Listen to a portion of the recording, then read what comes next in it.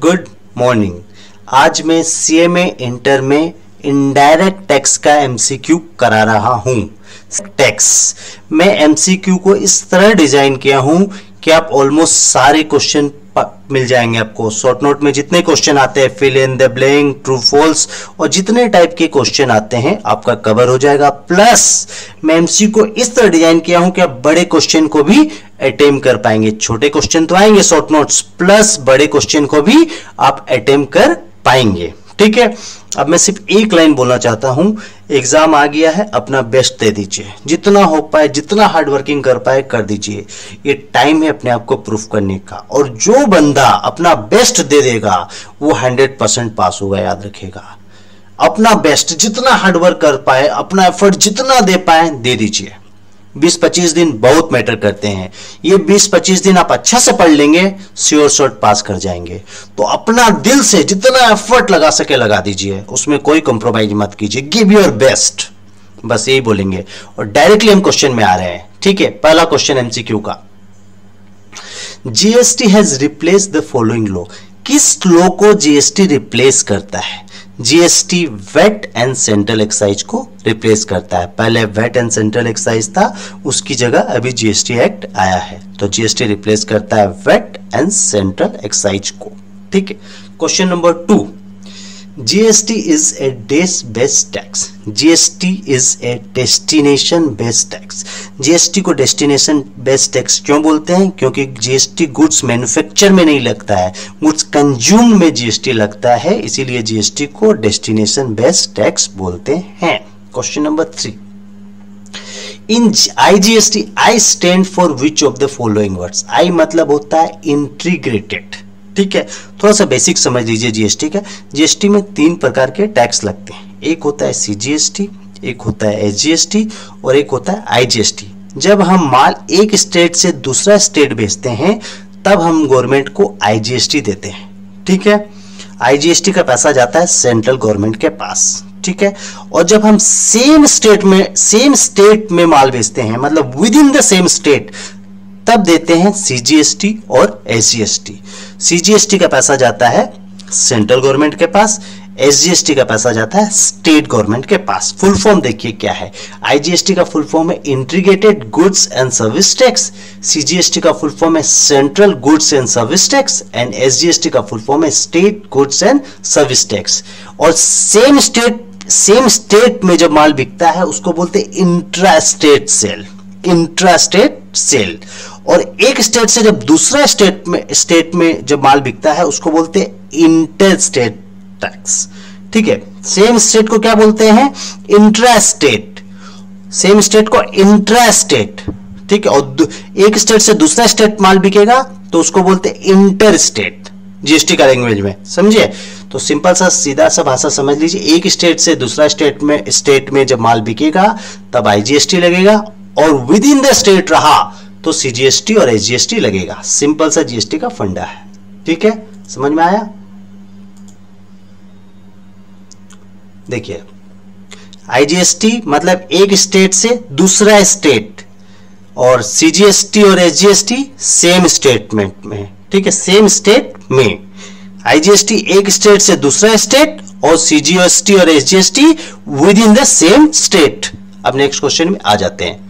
Question number four who is the chairman of GST council in India GST council का chairman कौन है?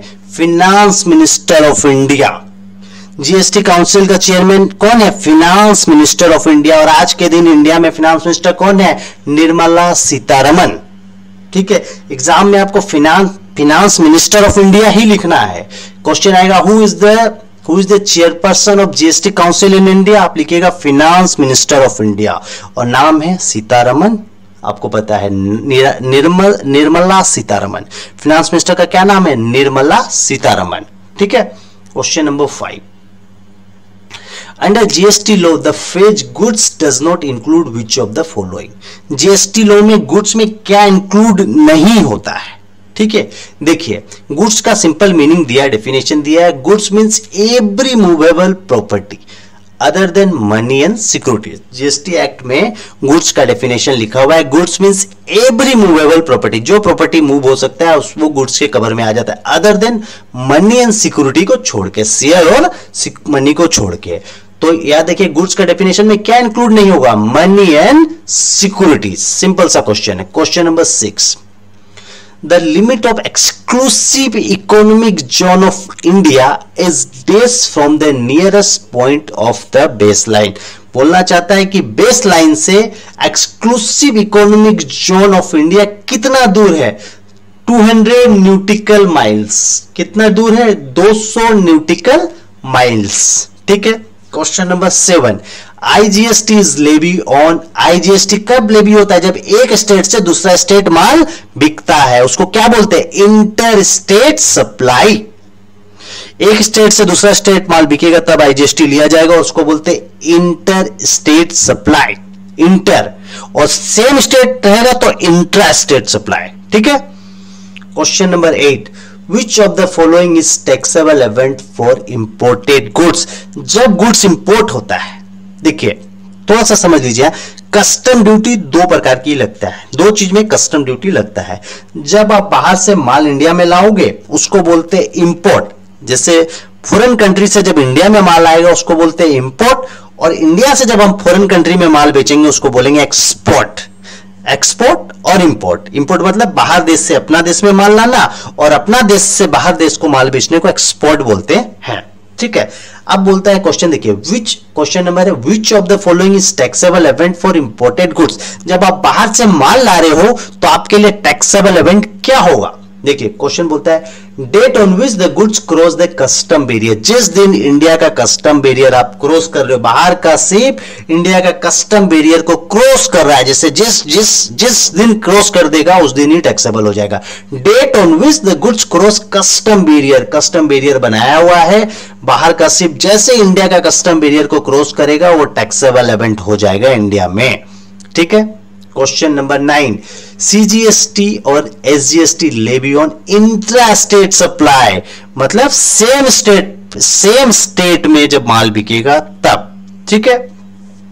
Question number ten maximum maximum rate of IGST will be 40 percent IGST का maximum rate कितना हो सकता है? 40 percent question number eleven on what basis GST is payable in respect of service render to an employer by an employee? Contract basis not in the course of employment मतलब एक employer दूसरा employee को मतलब सोचिए employee और employer का relationship यदि employment basis में होगा, तब जीएसटी नहीं लिया जाएगा। एम्प्लॉयर और एम्प्लॉय का रिलेशनशिप कॉन्ट्रैक्चुअल बेसिस में होगा, तब जीएसटी ले सकता है। समझ में आ रहा है? जीएसटी कब अट्रैक्ट करेगा? जब इंप्लॉयर और employee as a contractual basis में काम करेंगे, तब जीएसटी अट्रैक्ट करेगा। लेकिन employee as a employment basis में रहेगा, तब नहीं होगा। तो कॉन्ट्रेक्चुअल रिलेशनशिप होना चाहिए, तब जीएसटी अट्रैक्ट करेगा। Which of the following shall not be included in the value of supply value of supply में जीएसटी नहीं इंक्लूड करते हैं। जैसे इलेक्ट्रिसिटी बिल आप देखेंगे तो वैल्यू ऑफ़ सप्लाई होता है। Value of supply plus GST करेंगे तो टैक्सेबल अमाउंट आएगा टोटल टैक्सेबल अमाउंट लेकिन सिर्फ़ वैल्यू ऑफ़ सप्लाई रहेगा तो वो जीएसटी छोड़ के होता है एक्सक्लूड रहता है वैल्यू ऑफ़ सप्लाई ठीक है? जैसे बिल्स ऑफ़ सप्लाई या value of supply GST exclude होता है. ठीक है? बिल ऑफ़ सप्लाई तो बिल ऑफ़ सप्लाई का मतलब होता है जिसमें जीएसटी अट्रैक्ट नहीं होता है जैसे इलेक्ट्रिसिटी बिल आप देखेंगे इलेक्ट्रिसिटी बिल में जीएसटी नहीं लगता है तो विदाउट इलेक्ट्रिसिटी के हिसाब से रहता है. ठीक है? अब क्वेश्चन नंबर थर्टीन देखिए. क्वेश्चन नंबर थर्टीन बहुत सिंपल सा क्वेश्चन है। Where person become liable to get register under GST law he should furnish application for registration within how many days बोलता है, जब आपको पता चल गया कि आपको जीएसटी में रजिस्ट्रेशन कर लेना चाहिए मतलब जब आपका टर्नओवर उस उस क्राइटेरिया को फुलफिल कर गया। मतलब चीज़ को समझिए। आज जीएसटी में रजिस्ट्रेशन कब लेना पड़ता है? जब मेरा टर्नओवर 40 लाख का लिमिट को क्रॉस कर जाएगा, वहाँ से 30 दिन के अंदर हमको जीएसटी में रजिस्ट्रेशन लेना पड़ेगा। तो क्वेश्चन यही बोलता है where person become liable to get register under GST law he should furnish application for registration within how many days मतलब 30 डेज़ मतलब जिस दिन मेरा टर्नओवर 40 लाख को क्रॉस हो जाएगा, वहाँ से हमको 30 दिन के अंदर जीएसटी में रजिस्ट्रेशन लेना पड़ेगा। जीएसटी में रजिस्ट्रेशन कैसे लेंगे? ऑनलाइन जीएसटी पोर्टल में जाके आप ऑनलाइन एप्लीकेशन करेंगे जीएसटी रजिस्ट्रेशन के लिए तो आपको जीएसटी सर्टिफिकेट उन लोग अलॉट कर देंगे। तो जीएसटी रजिस्ट्रेशन में कब अप्लाई करना पड़ता है? जिस जिस दिन आपका टर्नओवर क्रॉस करेगा, वहाँ से 30 डेज़ के अंदर 3030 डेज़ के अंदर। Which of the following tax is levy in inter state supply of goods under GST law inter state में कौन सा टैक्स लगता है? बताए थे आईजीएसटी ठीक है? क्वेश्चन नंबर पंद्रह. Aggregate turnover includes aggregate turnover में क्या क्या आता है? देखिए टैक्सेबल सप्लाई जितना सप्लाई टैक्सेबल है, वो तो आएगा प्लस एजेंटेड सप्लाई वो भी आएगा और आप एक्सपोर्ट किए हैं, वो वो भी आएगा, तीनों चीज़ आएगा। Taxable supply plus exempted supply plus export सब चीज़, तीनों चीज़ मिक्स करके एग्रीगेट टर्नओवर निकाला जाएगा। ठीक है? अब question number sixty basic custom duty on imported goods is levy at the rate specified in the first schedule of custom tariff act 1975 custom duty का रेट कहाँ पर दिया हुआ है? First schedule of custom tariff act 1975 पे। Simple सा चीज़ है। क्वेश्चन नंबर 17 देखिए। Renting of marriage hall, renting of marriage hall owned by a trust register under section 12AA of the Income Tax Act 1961 is not exempt from GST where charges are more than rupees ten thousand per day मतलब बोलता है, जो trust registration हुआ है income tax में under section 12 double A में, ठीक है? वह ट्रस्ट आपको भाड़ा में कोई होल दे रहा है और उस होल का भाड़ा दस हज़ार से ज़्यादा ले रहा है, तब उस ट्रस्ट को जीएसटी देना पड़ेगा। ठीक है, चीज़ को समझिए। यदि ट्रस्ट आपको रेंट के लिए होल दे रहा है कोई का शादी हो रहा है, और वो ट्रस्ट चैरिटेबल पर्पस में कोई को होल दे रहा है, और उसका रेंट ले रहा है, जहाँ शादी होगा, उसका होल दे रहा है मैरिज होल दे रहा है, और उसका रेंट दस हज़ार से नीचे रहा तो कोई टैक्स जीएसटी देने का दरकार नहीं है उस ट्रस्ट को। लेकिन, यदि ट्रस्ट दस हज़ार से ज़्यादा का रेंट लेगा तो उस पर जीएसटी अट्रैक्ट हो जाएगा, याद रखिएगा। तो कोई भी ट्रस्ट हो जो ट्वेल्व डबल ए में रजिस्ट्रेशन कराया है और वो भाड़ा में कोई मैरिज हॉल दे रहा है और दस हज़ार से ज़्यादा का उस पर रेंट ले रहा है, तब उस ट्रस्ट को जीएसटी देना पड़ेगा। दस हज़ार लिमिट है ट्रस्ट का जीएसटी के लिए, ठीक है? Which of the following is the meaning to zero rated supply? Which of the following is the meaning to zero rated supply? Zero rated supply किसको बोलते हैं? एक्सपोर्ट ऑफ़ गुड्स और सर्विस और बोथ यदि आप कोई चीज़ को एक्सपोर्ट कर रहे हो किसी गुड्स और सर्विस को, उसी को ज़ीरो रेटेड सप्लाई बोलेंगे। ज़ीरो रेटेड सप्लाई किसको बोलते हैं? यदि हम एक्सपोर्ट कर रहे हैं कोई गुड्स और सर्विस को। Question number nine nineteen where is the headquarter of GST council of India located GST council का हेड क्वार्टर कहाँ है? न्यू दिल्ली सारा मीटिंग तो वहीं होता है जीएसटी का न्यू दिल्ली में. इसीलिए जीएसटी का हेड क्वार्टर कहाँ है? न्यू दिल्ली में. एकदम बेसिक कंसेप्ट है. Which nation has the high GST rate in the world किस नेशन में सबसे ज़्यादा जीएसटी का रेट है? इंडिया में. सबको पता है ये. Question number twenty one the scope of supply of goods और सर्विस और both include inter alia sale exchange and lease ठीक है? स्टेट वेदर द स्टेटमेंट अब इज़ ट्रू और फॉल्स सप्लाई में तीनों चीज़ मिलाया हुआ है। देखिए सप्लाई का डेफिनेशन में the scope of supply of goods और सर्विस और both includes sale exchange and lease supply का डेफिनेशन में तीनों चीज़ कवर होता है। हंड्रेड परसेंट ट्रू है। Sale exchange and lease supply का डेफिनेशन में तीनों चीज़ कवर है। सेल एक्सचेंज एंड लीज ये हंड्रेड परसेंट ट्रू है। Question number twenty two a person of Tripura is eligible to opt for composite levy provided his previous year turnover exceed rupees forty exceed rupees seventy five lakhs देखिए क्या बोलना चाह रहा है, समझिए अच्छा से। देखिए, आगे कंपोजिशन स्कीम का बेनिफिट और पर्पज समझिए, ठीक है? चीज़ को समझिए। कौन कौन कंपोजाइट स्कीम में जाता है? क्यों बनाया गया है? गवर्नमेंट ने कंसेप्ट को क्यों बनाया कंपोजाइट स्कीम का बेनिफिट बनाया गया स्मॉल टैक्स पेयर के लिए, ठीक है? स्मॉल टैक्स पेयर क्या चाहते हैं? जीएसटी का इतना कंप्लायंस कर नहीं पाएँगे, ठीक है? इतना सारा रिटर्न होता है, उन लोग भर नहीं पाएँगे और जीएसटी का कंप्लायंस का कॉस्ट उन लोगों के लिए एक्सपेंसिव हो जाता है। इसीलिए गवर्नमेंट ने एक रूल बनाया जो स्मॉल टैक्स पेयर है और जिसका टर्नओवर कितना है? डेढ़ करोड़ रुपया है। डेढ़ करोड़ तक जिसका टर्नओवर है, वो लोग कंपोजाइट स्कीम का बेनिफिट ले सकते हैं कंपोजिशन स्कीम का। तो कंपोजिशन स्कीम में क्या होगा कि स्मॉल टैक्स पेयर लोग जीएसटी कलेक्ट नहीं कर पाएँगे किसी से भी। ठीक है? उन लोग क्या करेंगे? ईयर एंड में गवर्नमेंट को एक फिक्स परसेंटेज ऑफ़ अमाउंट दे देंगे। फिक्स परसेंटेज जैसे point two five point three five जो परसेंटेज बनता है गवर्नमेंट जितना आइडेंटिफाई करेगा, उतना परसेंट का वो जीएसटी दे देंगे, काम खत्म। और उन लोगों को जीएसटी का सारा कंप्लाइंस करने का दरकार नहीं है।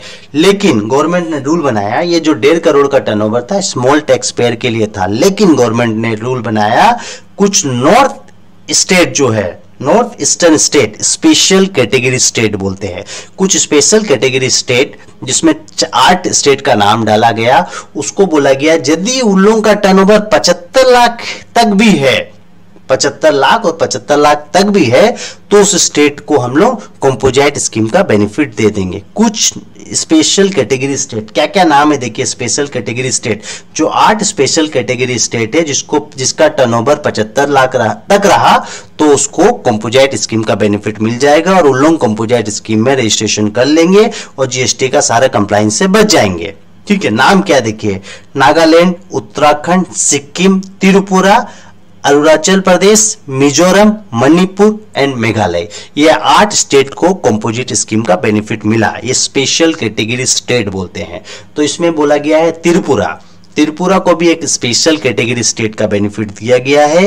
यदि त्रिपुरा का टर्नओवर यदि यदि उसका टर्नओवर 75 लाख तक होगा तो उसको भी कंपोजाइट स्कीम का बेनिफिट मिल जाएगा। तो ए पर्सन ऑफ़ त्रिपुरा जो त्रिपुरा को दिया गया बेनिफिट स्पेशल कैटेगरी स्टेट का तो यहाँ पर देखिए जो टर्नओवर है, पचहत्तर लाख तक है। तो अप टू पचहत्तर लाख होगा क्वेश्चन में, ठीक है?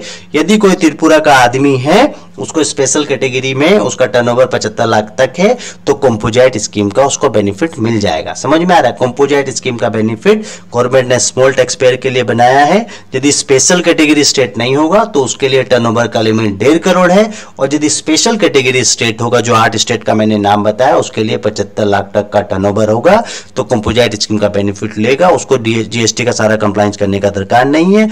जस्ट एक स्पेसिफिक ईयरली जितना परसेंटेज जो मिनिमम परसेंटेज गवर्नमेंट जो नोटिफाई करेगा, उतना अमाउंट का जीएसटी दे देगा और जीएसटी से फ्री रहेगा सारा कंप्लाइंस से। ठीक है? क्वेश्चन नंबर ट्वेंटी देखिए। सिंपल सा क्वेश्चन है। देखिए question number twenty three. A registered person under GST law gives a free spoon along with every soap purchase. This is a case of composite supply under gst law. State whether the statement is correct और false बोलता है कि जब आप साबुन खरीद रहे हो तो साबुन के साथ एक चम्मच फ्री दिया जा रहा है। ये कंपोजाइट सप्लाई है या नहीं? देखिए कंपोजाइट सप्लाई का मीनिंग समझिए। कंपोजाइट सप्लाई मतलब वह सप्लाई मतलब दो और दो से ज़्यादा गुड्स का एक साथ सप्लाई होगा जो नेचुरली बंडल है। माने एक गुड्स बिना गुड्स के, माने पहला गुड्स जो प्रिंसिपल गुड्स है, वो उसके बिना दिया ही नहीं जा सकता। मैंने दिया नेचुरली बंडल मतलब चॉकलेट चॉकलेट दिया जा रहा है सपोज़ आपको तो चॉकलेट बॉक्स में ही डाल के दिया जाएगा, हाथ में कैडबेरी नहीं दिया जाएगा। कैडबेरी अपना पैकिंग मटेरियल के साथ ही दिया जाएगा। समझ में आ जैसे शैम्पू ले रहे हो आप तो शैम्पू दुकान वाला शैम्पू आपका हाथ में नहीं देगा, वो शैम्पू बोतल में ही डाला हुआ दिया जाएगा। तो शैम्पू और उसका बोतल नेचुरली बंडल है। माने दोनों एक सप्लाई माने एक दूसरा के बिना वो सप्लाई हो ही नहीं सकता। नेचुरली बंडल उसको बोलते हैं। समझ में आया? तो कंपोजाइट सप्लाई मतलब दोनों एक साथ ही जाएगा। प्रिंसिपल सप्लाई के साथ अदर सप्लाई देना ही पड़ेगा, उसके बिना होगा नहीं। जैसे शैम्पू शैम्पू बेस्ट एग्ज़ाम्पल है। शैम्पू आप जब आपको दिया जाता है तो प्लास्टिक का बोतल में डाल के दिया जाता है। हाथ में आपको शैम्पू नहीं दिया जा सकता है। तो नेचुरली बंडल है। मतलब एक सप्लाई दूसरा सप्लाई पर डिपेंड करता है। उसके बिना हो ही नहीं सकता। सप्लाई होगा तो दोनों साथ में होगा, नहीं तो नहीं होगा। तो उसको बोलते हैं नेचुरल बंडल तो याद रखिएगा, जब भी कंपोजिट सप्लाई होगा, इसमें जीएसटी का जो रेट लगेगा प्रिंसिपल सप्लाई का रहेगा, जो मेन प्रोडक्ट रहेगा, उसका जो जीएसटी रेट रहेगा, वही दोनों पे अप्लीकेबल हो जाएगा। प्रिंसिपल का जो जीएसटी रेट होगा, वो दोनों पे अप्लीकेबल होगा। चीज़ को समझिए नेचुरली बंडल तो यहाँ चम्मच दे रहा है साबुन के साथ तो ज़रूरी नहीं है लेना। ये नेचुरली बंडल नहीं है। आप दोनों को अलग अलग दे सकते हो। और कंपोजाइट सप्लाई मतलब दोनों को अलग दे ही नहीं सकते। नेचुरली बंडल है। चीज़ को समझो लॉजिक को समझिए। तो यहाँ पर बोलता है मैंने आपको चम्मच दिया जा रहा है साबुन के साथ तो नेचुरली बंडल है ही नहीं वो। एक दूसरा के बिना जा सकता है और लोग तो ये कंपोजाइट सप्लाई का पार्ट नहीं है। ठीक है? एकदम सिंपल सा चीज़ है। Question number 24 it is true that under GST law every registered person whose aggregate turnover during the financial year exceed rupees two crore has to get his account audited by a chartered accountant और a cost accountant ये true है। GST में बोला गया है कि आपका जो एनुअल अकाउंट जीएसटी ऑडिट कराना पड़ता है, यदि आपका टर्नओवर दो करोड़ से ज़्यादा होगा। तो जीएसटी ऑडिट कब कराना पड़ता है? जब टर्नओवर मेरा दो करोड़ से ज़्यादा होगा। सिंपल सा चीज़ है। क्वेश्चन नंबर ट्वेंटी फाइव देखिए do you agree to the following statement input credit can be claim for machinery purchase and send directly to a job worker registered under the tax payer एकदम सही है। कोई simple सा चीज़ है, बहुत easy चीज़ है। ठीक है? आगे देखिए। देखिए, क्या बोल रहा है? रफली बता देता हूँ। Input credit can be claim for machinery purchase? बोलता हाँ मशीनरी परचेज हम कोई भी कैपिटल गुड्स खरीदेंगे, मशीन खरीद रहे हैं, उसका इनपुट क्रेडिट मिलेगा और हम उसको and send directly to a job worker register under the tax payer ठीक है, हम वो, उसका क्रेडिट जॉब वर्कर को भेज सकते हैं, क्योंकि दोनों मेरा मैन्युफैक्चरिंग यूनिट का ही पार्ट है। दोनों मेरा ही यूनिट का पार्ट है तो मशीनरी जो हम खरीद रहे हैं, वो जॉब वर्कर में भी यूज़ हो रहा है। इसीलिए डायरेक्टली जॉब वर्कर को दिया जा सकता है। सिंपल सा चीज़ है। क्वेश्चन नंबर ट्वेंटी सिक्स देखिए। Every every person who is liable to be registered under GST shall apply for registration in which form? GST REG 01 GST registration के लिए जीएसटी आरईजी ज़ीरो वन में apply करना पड़ता है। यह form अपने को ऑनलाइन फ़ाइल करना पड़ता है। ऑनलाइन जीएसटी का पोर्टल में जाके आप जीएसटी रजिस्ट्रेशन के लिए अप्लाई कर सकते हैं। ठीक है? बहुत सिंपल सा चीज़ है। ठीक है? आगे देखिए। याद रखिएगा, जब आप जीएसटी रजिस्ट्रेशन के लिए ऑनलाइन अप्लाई कर रहे हो GST R G zero one में तो जब आपका रजिस्ट्रेशन अप्रूव हो जाएगा तो जी, जो गवर्नमेंट आपको जीएसटी सर्टिफिकेट देगा, वो देगा GST R G zero six form में। रजिस्ट्रेशन के लिए अप्लाई कर रहे हो GST R G zero one में, और रजिस्ट्रेशन सर्टिफिकेट आपको मिल रहा है GST R G zero six वहाँ ज़ीरो वन है, और सर्टिफिकेट में होगा ज़ीरो सिक्स सिंपल सा चीज़ है। आगे ये क्वेश्चन नंबर ट्वेंटी सेवन में। Is licence to occupy land is treated as supply of service yes एकदम सप्लाई ऑफ़ सर्विस है yes question number twenty eight in the common portal every claim of input tax credit of a registered person shall be credited to electronic credit ledger to which to electronic credit ledger which which words according to you most appropriate ठीक है? क्या बोलना चाहता है? देखिए। आपका जितना भी इनपुट क्रेडिट है, वो आपका कहाँ क्रेडिट हो जाता है? इलेक्ट्रॉनिक क्रेडिट लेजर में उतना रुपया क्रेडिट हो जाता है। जब आपको टैक्स देना पड़ता है टैक्स मतलब आउटपुट टैक्स जब आपको आउटपुट टैक्स देना पड़ेगा तो जब आप जब आउटपुट टैक्स देंगे तो इनपुट टैक्स का जितना रुपया रहेगा, वो माइनस करके देंगे। समझ में आया? आउटपुट टैक्स और इनपुट टैक्स क्या होता है? थोड़ा सा जान लीजिए। जब आप कोई चीज़ का माल बेच रहे हो सपोज़ आप कोई चीज़ गुड्स बेच रहे हो गुड्स पे सौ रुपया का गुड्स आप बेचे, उस पर नौ रुपया का सीजीएसटी लिए और नौ रुपया का एसजीएसटी लिए तो आपका टोटल हो गया एक सौ रुपया। ठीक है? एक सौ रुपया में जो आप अट्ठारह रुपया जो टैक्स का कलेक्ट किए हो सीजीएसटी और एसजीएसटी वो हो गया आपका आउटपुट लाइबिलिटी आउटपुट टैक्स इसको बोलते हैं आउटपुट टैक्स अब इनपुट टैक्स क्या है? देखिए, अभी एक सौ रुपया, आपका अट्ठारह रुपया का यहाँ आपको गवर्नमेंट को टैक्स देना पड़ेगा। जीएसटी का अठारह रुपया, आपका आउटपुट टैक्स हो गया सौ रुपया पे, अठारह परसेंट अब देखिए इनपुट टैक्स क्या होता है, समझिए। आपने वही गुड जो जो सौ रुपया में आप गुड्स बेचे हो, आप वो गुड्स को खरीदे थे नब्बे रुपया में, सोच लीजिए। जब आप नब्बे रुपया में खरीदे तो उस पर आपने कुछ जीएसटी दिया। सपोज़ मान लीजिए कि आपने उस पर जीएसटी दिया था दस रुपये का। तो जब आपका परचेस के समय जो जीएसटी लगा, जो टैक्स लगा, उसको बोलते इनपुट टैक्स तो जीएसटी में जब फाइनल टैक्स पेमेंट किया जाता है। मतलब आपको यहाँ अट्ठारह रुपया का जब आप पे, पे कर रहे हो उसमें आपने जो परचेज किया था उस समय जो नौ रुपया दिया था इनपुट टैक्स मतलब output tax minus input tax होने के बाद जो नेट टैक्स आता है वो गवर्नमेंट को दिया जाता है। मतलब समझ रहे आउटपुट जीएसटी मेरा जितना आएगा उससे हम फ़र्स्ट इनपुट जीएसटी को माइनस करेंगे उसके बाद हम देंगे गवर्नमेंट को टैक्स समझिए? एक बार और एग्ज़ाम्पल को हल्का सा समझा रहा हूँ देखिए। सौ रुपया का ठीक है, हमने नब्बे रुपया में माल खरीदा। ठीक है, एक माल था, कोई गुड्स था, हमने नब्बे रुपया में खरीदा। उस नब्बे रुपया में गुड्स का प्राइस था अस्सी रुपया प्लस जीएसटी का हमने परचेजर को पेमेंट किया, नब्बे रुपया टोटल पेमेंट किया। ठीक है, वही माल हमने सौ रुपया में बेचा। उस सौ रुपया में अट्ठारह रुपया हमने जीएसटी कलेक्ट किया। तो जो जीएसटी कलेक्ट किया अठारह रुपया, वो हो गया मेरे लिए आउटपुट जीएसटी और जो दस रुपया मैंने परचेज के समय दिया था, वो हो गया मेरे लिए इनपुट जीएसटी अब हम गवर्नमेंट को नेट टैक्स पे करेंगे आठ रुपया का नेट जीएसटी पेमेंट बोल के। ठीक है? अब देखिए, ये जो दस रुपया का जो इनपुट जीएसटी है, वो कहा जाता है? आपका इलेक्ट्रॉनिक क्रेडिट लेजर में क्रेडिट हुआ रहता है। तो जब मेरा आउटपुट जीएसटी दिखाएगा, अठारह रुपया माइनस मेरा जो इलेक्ट्रॉनिक क्रेडिट लेजर में जो रुपया है, वो दस रुपया माइनस होकर हम आठ रुपया का नेट पेमेंट कर देंगे। समझ में आया? इनपुट और आउटपुट का कंसेप्ट आपको समझ में आ गया होगा। Question number 19 29 for delay payment of GST interest rate at what percentage per annum is payable 18 percent interest rate लगेगा। आप यदि लेट से जीएसटी पेमेंट करते हो तो। Late GST payment interest rate कितना होगा? 18 परसेंट ठीक है? As per the GST law every registered taxable person must maintain account book and records for for at least 72 months from the due date of furnishing of annual return for the year pertaining to such return चीज़ को समझिए। Six year छह साल तक GST में books and accounts का records को maintain करना पड़ता है। छह साल। जैसे कंपनीज़ एक्ट में आप पढ़े होंगे, आठ साल बुक्स ऑफ़ अकाउंट्स को मेंटेन करना पड़ता है। जीएसटी में रूल्स बनाया गया कि जीएसटी का जितना रिकॉर्ड्स बुक्स एटसेट्रा अकाउंट जितना रहेगा, कम से कम छह साल मेंटेन करना पड़ेगा। जीएसटी का सारा रिकॉर्ड्स छह साल तक मेंटेन करना पड़ता है। जीएसटी में बुक्स वगैरह सब छह साल तक मेंटेन करना पड़ता है। Question number thirty one in case of death of a tax payer who can request for cancellation of registration under GST यदि टैक्स पेयर का डेथ हो जाएगा तो उसका लीगल हायर चाहे तो जीएसटी का कैंसिलेशन के लिए अप्लाई कर सकता है। ये जीएसटी पोर्टल में जाके हो जाएगा। तो डेथ हो जाएगा टैक्स पेयर का तो कौन जीएसटी का रजिस्ट्रेशन को कैंसिल करा सकता है? उसका लीगल हायर जीएसटी का रजिस्ट्रेशन को कैंसिल करा सकता है। ठीक है? क्वेश्चन नंबर थर्टी टू में आ जाइए। ठीक है?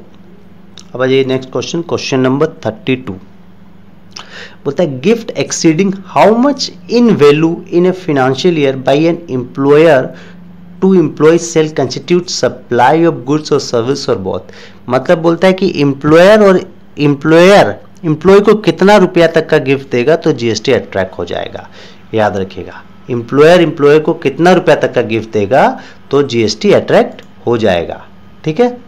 बोलता है एम्प्लॉयर एम्प्लॉय को पचास हज़ार से ज़्यादा का यदि गिफ्ट दे देता है एम्प्लॉयर एम्प्लॉय को पचास हज़ार से ज़्यादा का गिफ्ट दे देगा तो जीएसटी अट्रैक्ट हो जाएगा। बस इतना ही याद रखना है। पचास हज़ार से ज़्यादा का गिफ्ट देते ही जीएसटी अट्रैक्ट हो जाएगा। Question number thirty three. Toll receive from highway of a place A to place B is sixty lakhs toll receive कितना है? साठ लाख है। And commission on such toll receipt is rupees six lakh toll receipt कितना highway का? साठ लाख है। उस पर कमीशन कितना रुपए का कमाया गया? छह लाख रुपए का।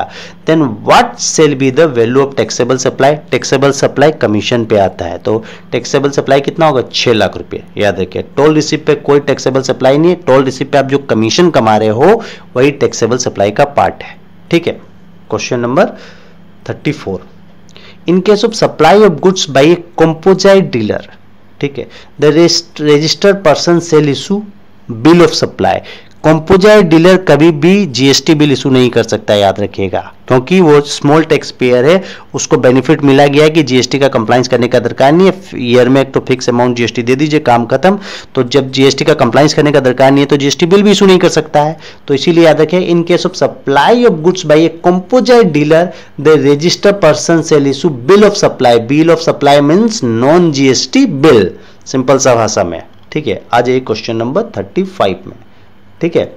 देखिए क्वेश्चन नंबर थर्टी फाइव क्या बोलता है? Casual taxable person match which item in the column में? कौन कौन सा आइटम कैजुअल पर्सन के साथ मैच करता है? पहला है no fix place of business in a state और यूनियन टेरिटरी और different GSTN but one PAN क्या होता है? कैजुअल टैक्सेबल पर्सन मतलब जानिए। कैजुअल टैक्सेबल पर्सन मतलब वह आदमी जो ओकेजनली ओकेजनली काम करता है। सिंपल सा भाषा में। ओकेजनली मतलब समझिए। एग्ज़ाम्पल देखिए। जैसे मैं कुछ एग्जीबिशंस कराता हूँ। ठीक है? मैं एग्जीबिशन करा रहा हूँ। सपोज़ मैं हैदराबाद में अपना अपना प्रोडक्ट या किसी चीज़ का एग्जीबिशन कर रहा हूँ। या मैं कोई मैनेजमेंट कंसल्टेंसी सर्विस दे रहा हूँ। मेरा हैदराबाद में ऑफ़िस है। मैं कलकत्ता में जाके कुछ मैनेजमेंट कंसल्टेंसी सर्विस दे रहा हूँ। तो कलकत्ता में मेरा कोई फिक्स प्लेस ऑफ़ बिज़नेस नहीं है। पर फिर भी मेरे को वहाँ पर रजिस्ट्रेशन लेना पड़ेगा as a casual taxable person समझ में आया? तो कैजुअल टैक्सेबल पर्सन मतलब ओकेजनली सर्विस दे रहे हैं। कभी कभी सर्विस दे रहे हैं। हम रेगुलर सर्विस नहीं दे रहे हैं। फिक्स प्लेस ऑफ़ बिज़नेस मेरा नहीं है। जैसे मैनेजमेंट कंसल्टेंसी सर्विस में, मैं रहता हूँ कलकत्ता में, मेरा मैं रहता हूँ हैदराबाद में और मेरा ऑफ़िस हैदराबाद में ही है। लेकिन मेरे को कलकत्ता से बुलाया गया कि आप मेरे को मैनेजमेंट कंसल्टेंसी सर्विस दीजिए। और कभी कभी बुलाया जाता है तो कभी कभी मैं वहाँ जाता हूँ, दिल्ली जाता हूँ। तो जहाँ जहाँ मैं जाता हूँ, मेरा कोई फिक्स प्लेस ऑफ़ बिज़नेस नहीं है, लेकिन मेरे को as a casual taxable person हमको रजिस्ट्रेशन लेना पड़ेगा जीएसटी में और जीएसटी देना पड़ेगा। तो सीधा सा बात है कैजुअल टैक्सेबल पर्सन मतलब no fix place of business in in a state और यूनियन टेरिटरी और डिफरेंट जीएसटी होगा बट मेरा पेन नंबर एक ही होगा। मेरा हैदराबाद में जो, जहाँ रहता हूँ, वहाँ का एक जीएसटी होगा और as a casual taxable person मैं सपोज़ कलकत्ता में कोई सर्विस दे रहा हूँ तो वहाँ भी मेरे को एक अलग जीएसटी नंबर लेना पड़ेगा। तो उसी को बोलते हैं कैजुअल टैक्सेबल पर्सन जो ओकेजनली सर्विस देता है। ठीक है? आगे देखिए question number 36 do you agree that under GST the phrase aggregate turnover include exempted supply yes एकदम ट्रू एग्रीगेट टर्नओवर में आपका taxable supply exempted supply export तीनों चीज़ इंक्लूड होता है। ठीक है question number 37 do you consider that the following statements true और फॉल्स ये स्टेटमेंट ट्रू है या फॉल्स आपको बताना है? A person can issue normal tax invoice in respect of supply which were surface by him and are detected by the GST officer subsequently एकदम false है statement नाम पढ़ के समझ में आ रहा है. Question number thirty eight which of the following statement is correct ठीक है. GST is payable once register even if the turnover is less than the prescribe limit correct बोलता है, एक बार आप जीएसटी में रजिस्टर हो गए तो आपको फोर एवर जीएसटी का कंप्लाइंस करना पड़ेगा। दो आपका टर्नओवर 40 लाख से कम हो जाए जिसको समझिए। अभी जीएसटी रजिस्ट्रेशन का क्राइटेरिया है कि आपका टर्नओवर 40 लाख से ज़्यादा होगा तो आप जीएसटी में रजिस्टर लीजिए और जीएसटी का सारा कंप्लाइंस कीजिए। लेकिन अब आपका 40 साल का, अभी टर्नओवर आपका 40 लाख है, फिर 50 लाख होगा, फिर 30 फिर क्या होगा? 50 लाख के बाद फिर 10 लाख हो गया टर्नओवर तो एक बार जीएसटी आप अप्लीकेबल हो गया आपके ऊपर फॉर एवर जीएसटी अप्लीकेबल होगा। याद रखिएगा। तो एक बार रजिस्ट्रेशन ले लिए मतलब आपको हमेशा उसका कंप्लाइंस करना पड़ेगा। ठीक है? क्वेश्चन नंबर थर्टी नाइन ठीक है? बोलता है basic custom duty is levy under section 12 of the custom act custom duty कौन सा सेक्शन में लिया जाता है? Section 12 of the custom act ठीक है? Question number 40 in case of custom appeal must be file within days days from the date of communication of order appeal custom में 60 दिन के अंदर फ़ाइल किया जाता है। इसको फ़र्स्ट अपील मानते हैं। देखिए अपील टू कमिश्नर अपील ठीक है? कमिश्नर अपील के पास फ़ाइल करेंगे। देखिए कस्टम में अपील कितना दिन में फ़ाइल किया जाता है? कस्टम का कोई ऑर्डर है आप उसके साथ सेटिस्फाइड नहीं है, आप फर्दर अपील करना चाहते हैं तो साठ दिन में फ़ाइल कर सकते हैं। ठीक है? सिंपल सा चीज़ है। देखिए क्वेश्चन नंबर फोर्टी वन में आ जाइए। ठीक है? चीज़ को समझिए। General free allowances under custom act is not allowed on unaccompanied baggage GFA is allowed on alcohol liquor और wine up to two litres बोलता है, जो जनरल फ्री अलाउंसेस जो है अल्कोहल लीकर और वाइन्स पर दो लीटर तक अलाउ है। मतलब आप कोई दूसरा कंट्री में गए, वहाँ से दो लीटर तक दारू वाइन ला सकते हो लीकर ला सकते हो। ठीक है? आगे देखिए question number 42 appeal under custom must be file within 60 days from the date of the communication order ये बताया 60 दिन में आपको अपील फ़ाइल करना पड़ेगा। ठीक है? Assuming it is first appeal that is appeal to commissioner appeal ठीक है? क्वेश्चन नंबर 43 आ जाइए नेक्स्ट क्वेश्चन में question number 43 tax and duties are dash in arriving at the assessable value for custom duty purpose excluded custom duty में जब assessable value निकालते हैं तो टैक्स एंड ड्यूटीज़ को एक्सक्लूड कर दिया जाता है, उसके बिना ही लिया जाता है। एसेसेबल वैल्यू में फिर कस्टम ड्यूटी एड ऑन होता है। An importer who knowingly misdeclare assessable value can be imprison for a period up to three years यदि कोई इम्पोर्टर एसेसेबल वैल्यू गलत बताता है मिस डिक्लेयर करता है, मैंने गलत एसेसेबल वैल्यू बताता है और डिपार्टमेंट पकड़ लेता है तो उसको तीन साल का जेल हो जाएगा। ठीक है? Question number 45 margin of dumping means the difference between normal value और एक्सपोर्ट प्राइस का जो डिफरेंस आता है, उसी को मार्जिन ऑफ़ डंपिंग बोलते हैं। डंपिंग मतलब difference between normal value and export price Question number 46. A passenger returning to India after stay in Germany for one week is entitled to bring goods up to 35,000 without payment of any custom duty यदि कोई भी passenger जो है India में return आ रहा है Germany में एक सप्ताह रहने के बाद ठीक है after stay in Germany for one week यदि आप एक सप्ताह जर्मनी में रहने के बाद इंडिया आ रहे हो तो पैंतीस हज़ार तक का आप गुड्स ला सकते हो बिना कस्टम ड्यूटी दिए।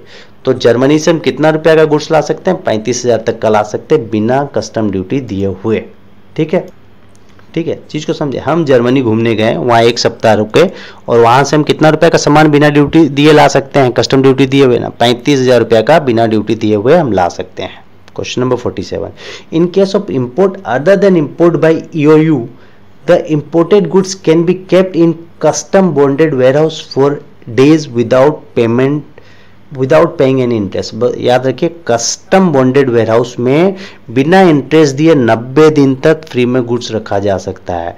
लेकिन यू यू वाला गुड्स नहीं होना चाहिए। यू यू वाला इंपोर्टेड गुड्स नहीं होना चाहिए। कोई भी इंपोर्टेड गुड्स हम कस्टम बॉन्डेड वेयरहाउस में रख सकते हैं नब्बे दिन बिना इंटरेस्ट दिए हुए। नब्बे दिन के बाद इंटरेस्ट चालू हो जाएगा, लेकिन वह गुड्स यू से इंपोर्ट हुआ नहीं होना चाहिए। ठीक है? यूओयू से एक्सपोर्ट ओरिएंटेड यूनिट से नहीं होना चाहिए क्योंकि वो ऑलरेडी एजेंट है और उसको रख के आप फिर से फ्री का बेनिफिट नहीं ले सकते हैं। तो ईओयू वाला गुड छोड़ के कोई भी गुड्स आप इंपोर्ट करते हैं और कस्टम बॉन्डेड वेयर हाउस में रखते हैं तो 90 दिन तक बिना इंटरेस्ट के रख सकते हैं। Indian custom water extend up to 12 nautical miles beyond territorial water territorial water से इंडियन कस्टम वाटर का डिस्टेंस कितना है? 12 nautical miles Question number 49. Bill of entry can be submitted days days prior to expected date of arrival of vessels.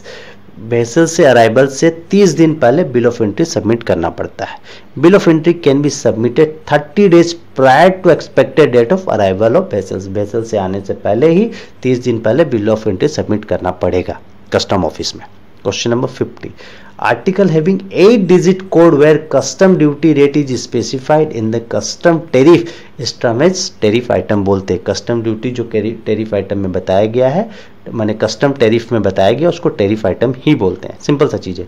Question number 51 आ जाइए। Question number 51 Under the Custom Act, where refund become due in the final assessment, interest will be payable if refund is not granted within three months.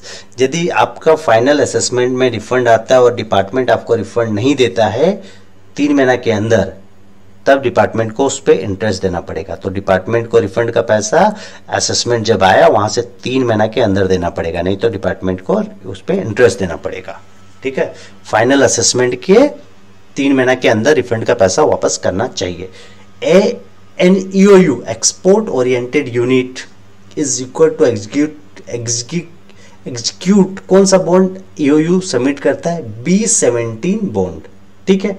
EOU कौन सा bond B seventy bond उसको submit करना पड़ता है। B seventeen bond ठीक है?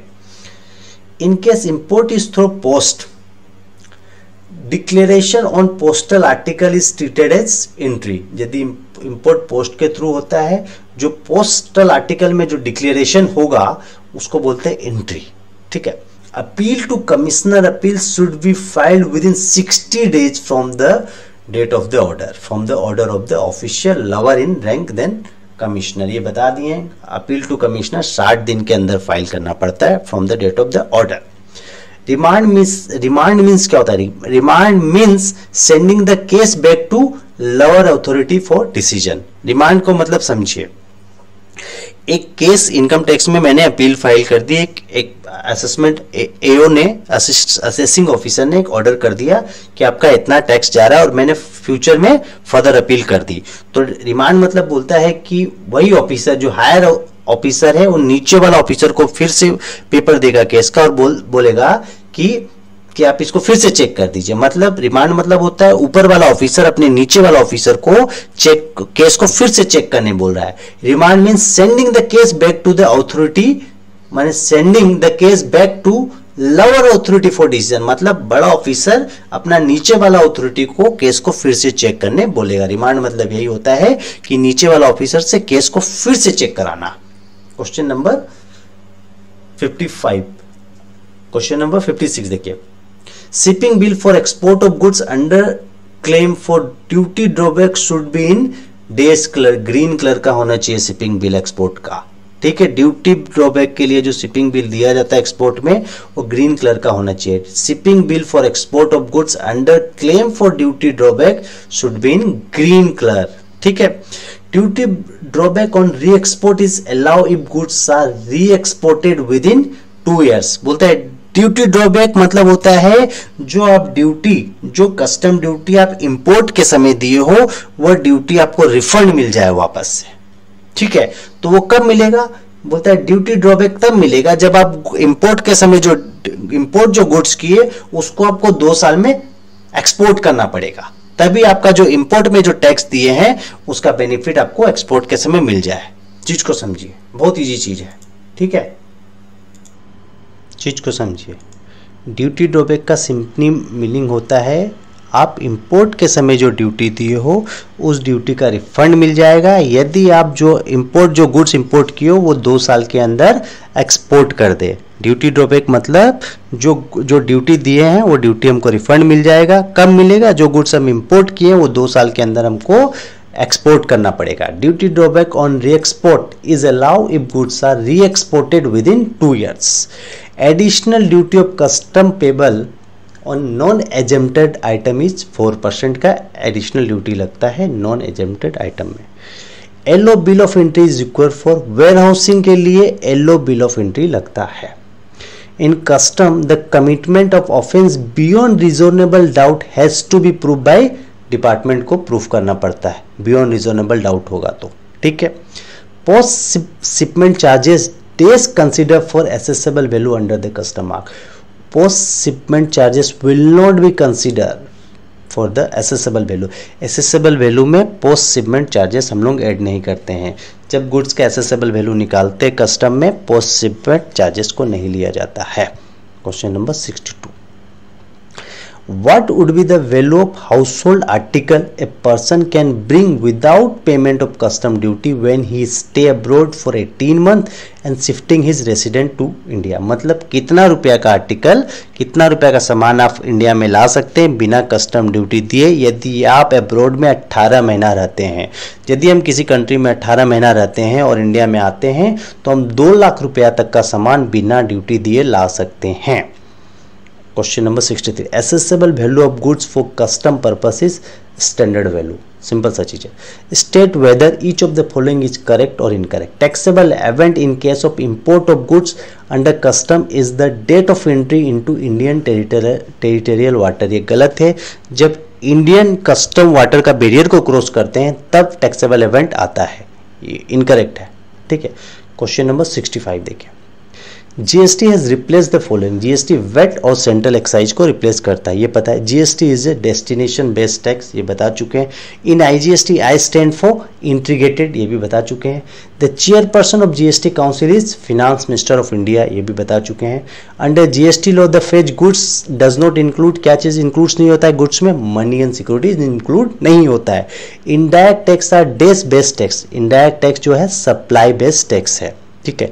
Direct tax are dash in nature progressive in nature India GST model is chosen from dash model Canadian model से GST model को चूज़ किया गया है। क्वेश्चन नंबर 73 देखिए इजी चीज़ है सब। GST council has been created as per article 279 A of the amendment constitution GST council किस किस आर्टिकल के बेस में क्रिएट किया गया है? Article 279 A in HSN N stand for nomenclature nomenclature N stand for nomenclature question number 75 the limit for exclusive economic zone of India is 200 nautical miles from the nearest point of the baseline baseline से exclusive economic zone का difference कितना है 200 nautical miles question number 76 देखें The safeguard duty imposed shall be enforced for a period of four years from the date of its imposition and can be extended within the total period of levy not exceeding 10 years. देखिए simple सा meaning है देखिए क्या बोलता है simple सा चीज़ safeguard duty को जब इम्पोज करते हैं हम लोग जब एक्ट में एप्लीकेबल करते हैं चार साल तक लिया जा सकता है सेफ़ गार्ड ड्यूटी और उसको एक्सटेंड भी किया जा सकता है दस साल तक। The safeguard duty impose shall be in force for a period of four years from the date of its imposition and can be extended within the total period of levy not exceeding 10 years which of the following is a taxable event for imported goods imported के लिए जब import हैं जब बाहर से India में माल मंगाते हैं तो taxable event क्या होगा date on which the goods cross the custom barrier जिस दिन goods मेरा custom इंडिया का जो custom barrier को cross करता है तब वो taxable event हो जाता है question number 78 where the insurance amount is not available for ascertaining the assessable value for custom duty the percentage of FOV value value to be taken as 1.125 percent बोलता है जब इंश्योरेंस अमाउंट दिया नहीं जाएगा तब एसेसेबल वैल्यू निकालने के लिए एफ़ कितना लेंगे? 1.125 परसेंट इंश्योरेंस अमाउंट नहीं दिया रहेगा तो। इंश्योरेंस अमाउंट दिया रहेगा तो 1 परसेंट ले लीजिएगा। इंश्योरेंस अमाउंट नहीं दिया है, तब एसेसेबल वैल्यू जब निकालेंगे कस्टम ड्यूटी में एफ़ का परसेंटेज लेंगे 1.125 percent goods which are same in all respect including physical quantity is known as identical goods बोलते हैं। ठीक है? GST registration require if aggregate turnover limit for sale और goods exceeding for normal course के लिए कितना है? 40 लाख। यदि आप नॉर्मल सप्लायर है और आपका टर्नओवर 40 लाख से ज़्यादा हो गया है, आपको 30 दिन के अंदर जीएसटी का रजिस्ट्रेशन लेना पड़ेगा। तो नॉर्मल सप्लायर के लिए जीएसटी का रजिस्ट्रेशन का लिमिट 40 लाख है। Question number 81 GST registration required if aggregate turnover limit for sale of good exceed for special category state के लिए कितना है? 20 लाख है। स्पेशल कैटेगरी स्टेट जो आठ स्टेट में बताया था आपको, त्रिपुरा वगैरह, उसके लिए रजिस्ट्रेशन का लिमिट है 20 लाख। नॉर्मल टैक्स पेयर के लिए 40 लाख है स्पेशल कैटेगरी स्टेट के लिए 20 लाख है। और आगे देखिए।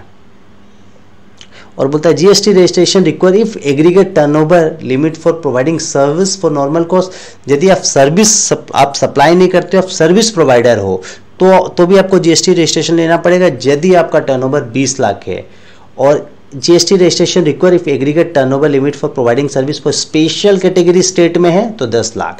मतलब देखिए नॉर्मल जीएसटी रजिस्ट्रेशन आपको कब लेना पड़ेगा? जब भी नॉर्मली आप गुड सप्लाई करते हो तो 40 लाख आपका टर्नओवर क्रॉस करेगा तब। 40 लाख आपका लिमिट है। नॉर्मल जो नॉर्मल गुड्स सप्लाई करता है, उसके लिए 40 लाख है। और जो नॉर्मल सर्विस प्रोवाइडर है, उसके लिए 20 लाख है। और स्पेशल कैटेगरी स्टेट में यदि कोई सेल ऑफ़ गुड्स कर रहा है तो उसके लिए जीएसटी का रजिस्ट्रेशन का लिमिट बीस लाख है। और स्पेशल कैटेगरी स्टेट में कोई सर्विस प्रोवाइड प्रोवाइड कर रहा है, उसका लिमिट दस लाख है। सिंपल सा चीज़ है। I G S T is levy on inter state supply एक स्टेट से दूसरा state C G S T same state में जब माल सप्लाई होगा तो सी जी एस टी और A G S T levy on intra state supply maximum rate of I G S T will be 40 percent transportation of passenger by metro are exempted from GST. यदि metro से आप transport कर रहे हो, metro से आप जाना ना कर रहे हो या मेट्रो के थ्रू ट्रांसपोर्टेशन हो रहा है, transportation of passenger by metro are exempted from GST. ठीक है? Aggregate turnover include taxable supply exempted supply और एक्सपोर्ट तीनों चीज़ एग्रीगेट टर्नओवर में आएगा। ठीक है? क्वेश्चन नंबर एटीन है। In case of taxable supply taxable supply of service in invoice shall be issued taxable supply of service में invoice तीस दिन के अंदर इशू करना पड़ता है। और in case of taxable supply of service by an insurer insurance insurer के समय इनवॉइस क्या है? पैंतालीस दिन में। नॉर्मल केस में थर्टी डेज़ में टैक्सेबल सप्लाई ऑफ़ सर्विस में इनवॉइस इशू होता है और इंश्योरर के केस में पैंतालीस दिन में। जीएसटीआर वन क्या है? Detail of outward supply of taxable goods and service जो आउटवर्ड सप्लाई कर रहे हो, उसका डिटेल है। जीएसटीआर टू क्या है? Detail of inward supply of taxable goods and service ठीक है? जीएसटीआर वन किसके लिए? आउटवर्ड सप्लाई के लिए। और जीएसटीआर टू किसके लिए? इनवर्ड सप्लाई के लिए। आउटवर्ड और इनवर्ड सप्लाई बताया हूँ मैं आपको। ठीक है? 93 monthly return for filing payment after adjusting input supply with output supply monthly return file करना पड़ता है जीएसटी या थ्री बी में। थ्री बी होगा। यदि आउटपुट और इनपुट का एडजस्ट करने के बाद जो फाइनल पेमेंट करते हो, वो थ्री बी में फ़ाइल होता है। Monthly supply for final payment after adjusting input supply with output supply input output का एडजस्टमेंट के बाद जो आप जीएसटी का पेमेंट करते हो, वो जीएसटी थ्री बी में रिटर्न जाता है। The form to be used for filing return by a tax tax payer under composite scheme में जो रिटर्न फ़ाइल करता है, वो G S T R four file करता है। कॉम्पोजाइट स्कीम में जो रिटर्न फ़ाइल करेगा G S T R four file करेगा। Return for non resident taxable person G S T R five file करता है। नॉन रेसिडेंट क्या फ़ाइल करता है? G S T R five form क्या है? नॉन रेसिडेंट के लिए एनआरआई के लिए जीएसटीआर फाइव और return for input service distributor के लिए क्या है? GSTR six input service distributor के लिए जीएसटीआर सिक्स ठीक है, ये देखिए।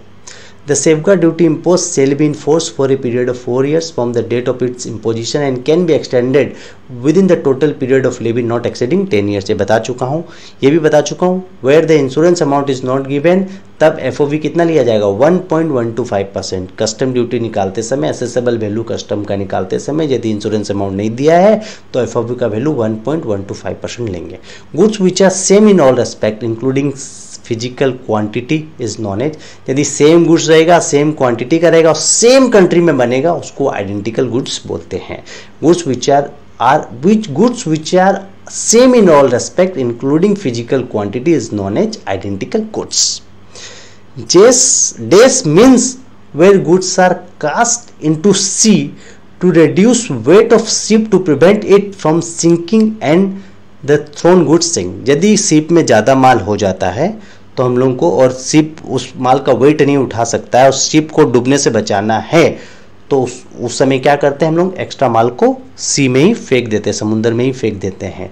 तो इसको बोलते हैं jettison jettison question number hundred what is the due date for submission of monthly return GST R three B monthly twenty ठीक है? तीस तारीख हर मंथ का ट्वेंटी को GST R three B file करना पड़ता है और इनपुट आउटपुट का सेटलमेंट करके जो टैक्स लाइबिलिटी आता है, वो देना पड़ता है। लेकिन जिसका टर्नओवर पाँच करोड़ से ज़्यादा है और जिसका टर्नओवर पाँच करोड़ से कम है, उसके लिए चौबीस तारीख डेट है। मंथ का चौबीस तारीख डेट है G R three B file करने का। बस हम यही बोलेंगे, अपना बेस्ट दे दीजिए, आप हंड्रेड परसेंट पास हो जाएँगे और कुछ नहीं बोलना है। Thank you